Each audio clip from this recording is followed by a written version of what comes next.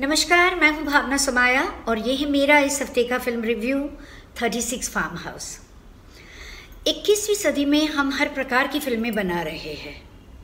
आज भाषा, duration genre location actor star कुछ भी मायने नहीं रखता। मायने रखता है तो सिर्फ़ कंटेंट ट्रीटमेंट और संदेश यानी मैसेज प्रोड्यूसर सुभाष घाई एक लंबे अरसे के बाद एक छोटी सी फ़िल्म लेकर आए हैं।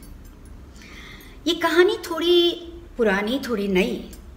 थोड़ी कॉमेडी थोड़ी मिस्ट्री थोड़ी पारिवारिक और थोड़ी शायद सामाजिक भी है। जब एक ही कहानी में बहुत सारे जॉनर शामिल होते हैं और बहुत सारे मुद्दे शामिल होते हैं तो प्रॉब्लम निश्चित है। इस कहानी का प्लॉट प्रेडिक्टेबल नैरेटिव नीरस ट्रीटमेंट ओल्ड फैशनड और कैरेक्टर्स क्लीशेड एंड प्रेडिक्टेबल नियत चाहे कितनी भी साफ़ क्यों ना हो।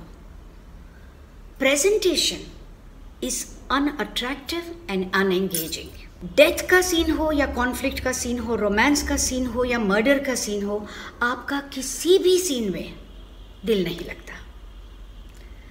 संजय मिश्रा रेपिटेटिव है। Vijay Raaz is just about competent Flora Saini has a presence मगर वो एक ही डायलॉग दोहराती है। तुम कहना क्या चाहते हो? हम भी डायरेक्टर से यही पूछना चाहते हैं, आप कहना क्या चाहते हो?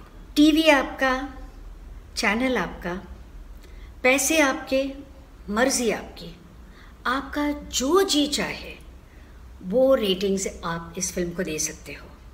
मैं भावना समाया बिग एफएम परिवार के साथ 36 फार्म हाउस से इजाज़त चाहती हूँ.